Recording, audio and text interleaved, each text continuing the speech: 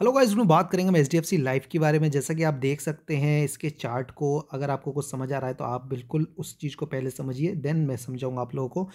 आप लोग देख सकते हैं कि आज इसमें 25 पॉइंट के ऊपर की तेज़ी देखने को मिली है एंड जिसने भी होल्ड किया इस स्टॉक को, उसको अच्छा फ़ायदा हो रहा होगा। आज लगभग लगभग स्टॉक पाँच परसेंट के आसपास ऊपर था। तो अभी क्या करना चाहिए एच डी लाइफ के बारे में, वो जान लेते हैं। तो देखिए पहला जो इसके लिए सबसे बड़ा टेंशन बना है वो है इसका ये जोन जो कि आता है छः सौ रुपये से स्टार्टिंग जहाँ आप देख सकते हैं इसने एक बार नहीं, काफ़ी बार रेजिस्टेंस फेस किया, जैसे कि one two three and four five and six छः बार ये स्टॉक वहाँ से रिजेक्शन लिया है और ये बड़ा प्रेशर है और आज भी आप देख सकते हैं 600 के लेवल तक गया तो था, लेकिन वहाँ से गिरते गिरते 595 पे आ गया है। वॉल्यूम आज काफ़ी अच्छी आई है तो वो एक इंपॉर्टेंट बात है, हो सकता है कल इसको ये क्रॉस करता हुआ ऊपर जाए। क्यों?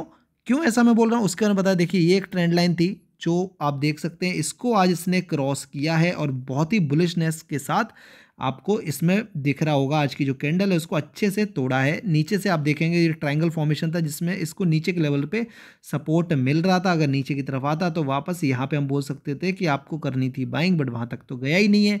तो अभी आपके लिए क्या हो जाएगा? अगर आपने बाइंग नहीं की है तो कोई दिक्कत वाली बात नहीं है। अभी आपको जल्दबाजी बाइंग नहीं करनी है। बिकॉज़ एक चाहिए होता है कन्फर्मेशन 600 का लेवल है। अगर ये इसको ऊपर टिकता है देन वापस रिटेस्ट करके अगर ऊपर चल देगा तो आप उसमें कर सकते हैं बाइंग ऑलरेडी अगर किसी ने बाइंग की है, नीचे के लेवल्स पे जो मैंने आप लोग को बताए हुए थे कि भैया 510 500 रुपए का एक रेंज है जहाँ आप कर सकते थे। बाइंग अगर आपने वहाँ पर बाइंग की है तो आपको लगभग लगभग पंद्रह परसेंट तो ईजिली इसमें फ़ायदा देखने को मिल रहा होगा। सो यस ये है H D F C life का अपडेट आई होप आप लोग को पसंद आया होगा। अगर कुछ भी अच्छा लगा है तो चैनल को सब्सक्राइब करिए वीडियो को लाइक करिए एंड कमेंट सेक्शन में मेरे से क्वेश्चन पूछिए। Thank you so much bye bye